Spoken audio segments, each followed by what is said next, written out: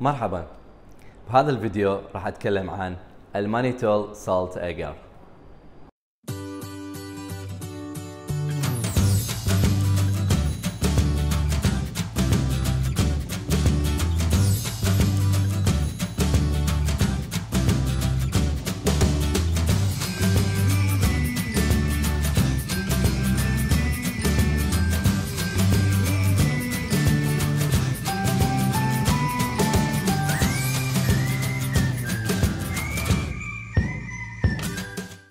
ال mannitol salt agar هو وسط انتقائي selective وتفريقي differential انتقائي لأنه ينتقي فقط بكتيريا ال Staphylococcus للنمو ويثبط بقية أنواع البكتيريا. وتفريقي لأنه يفرق بين البكتيريا المخمرة لسكر المانوز والبكتيريا غير المخمرة لها.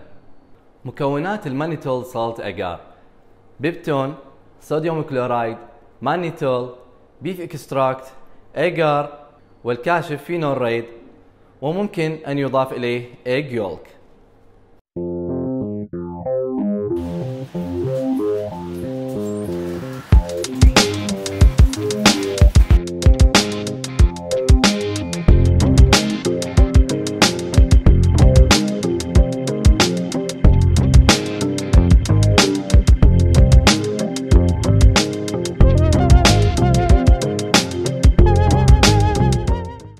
الصفة الانتقائية لل mannitol salt agar سببها التركيز العالي من كلوريد الصوديوم. حيث أن هذه النسبة من كلوريد الصوديوم تثبط جميع أنواع البكتيريا عدا بكتيريا ال Staphylococcus أما الصفة التفريقية لل mannitol salt agar فسببها سكر المانوز. حيث أن البكتيريا المخمرة لسكر المانوز تنتج أحماض في الوسط. كاشف ال phenol red؟ في الوسط الحامضي يعطي لون أصفر. وبذلك فإن البكتيريا المخمرة لسكر المانوز تغير لون الطبق إلى الأصفر.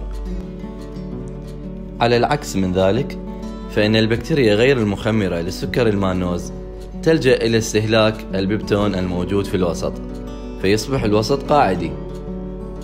كاشف ال phenol red؟ في الوسط القاعدي يعطي لون وردي. وبذلك فإن البكتيريا غير المخمرة لسكر المانوز تغير لون الطبق إلى الوردي.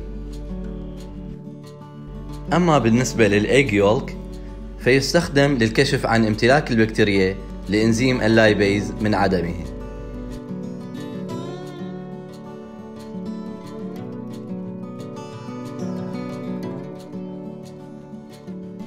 إذا عجبك الفيديو اضغط لايك وسوي مشاركة حتى تعمل فائدة.